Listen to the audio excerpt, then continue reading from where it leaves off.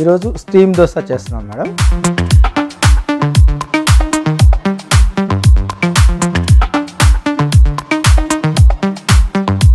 మన కోసం స్టీమ్ దోశ కూడా వచ్చేసింది అనమాట